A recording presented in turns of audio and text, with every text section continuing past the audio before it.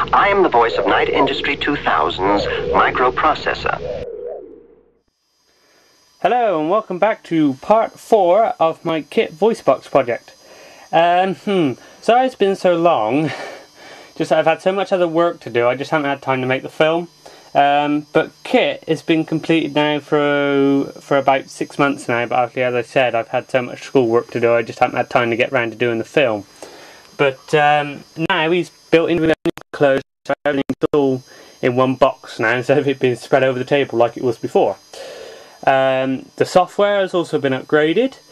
Um, it now has um, a relay interface in it now, so um, you can run, say, items in your car off the relay if given the uh, the correct configuration. Um, unfortunately, obviously, I haven't actually done that yet, but the interface does actually work, so uh, that's quite handy. Um, and here he is. Here he is, the KITT voice box. Unfortunately, these side lights um, there's been a sort of a problem with them. I haven't managed to get round to actually um, sort of sorting them out.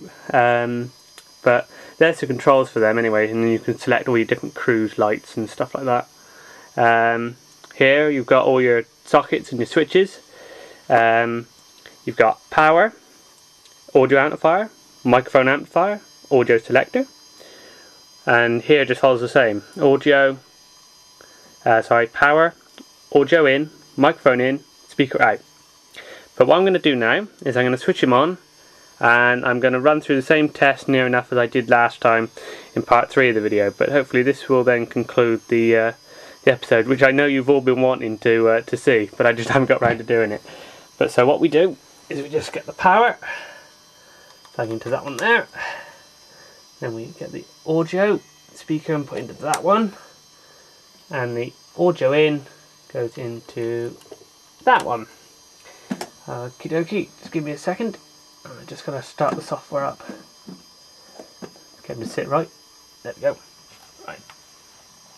There we go. Okay, give me a second.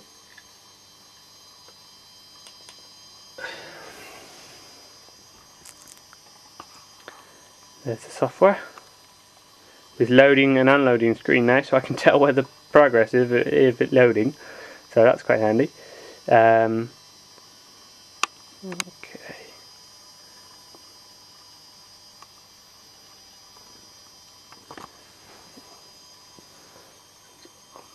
Switch that one on there. And then this one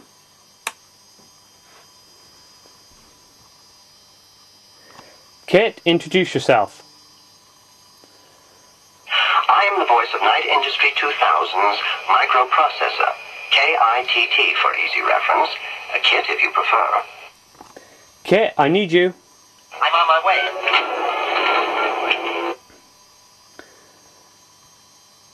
So you can see now that um, the software interfaces with it quite nicely now uh, within its box. Um, I'm still trying to work on trying to get the lights to work, but uh, for some reason they're not working. It seems to it seems to overload the resistor, and the resistor starts heating up and frying itself.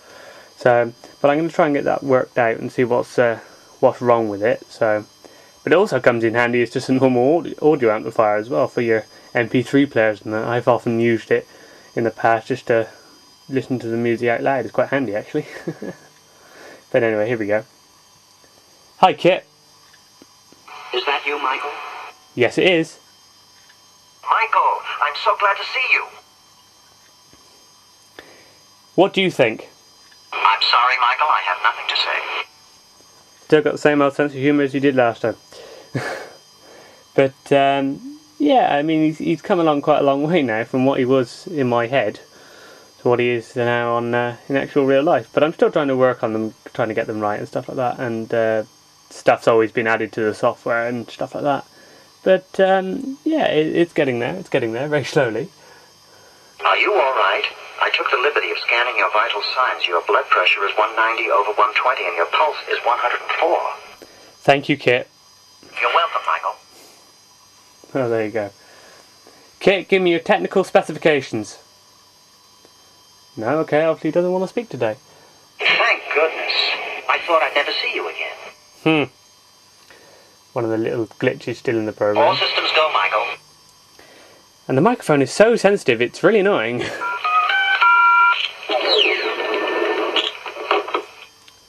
but now obviously it's just set on random, so it puts like random sounds now and again. I am the Knight Industries 2000. My serial number is Alpha Delta 227529. I am unauthorized to allow access to my central processing unit.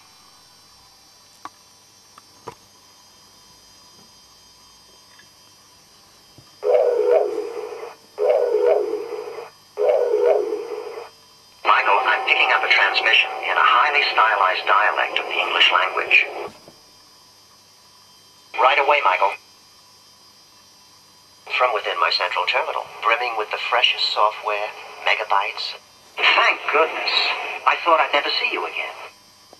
But uh, that about sums up really for part Thank four. goodness. I thought I'd never see you again.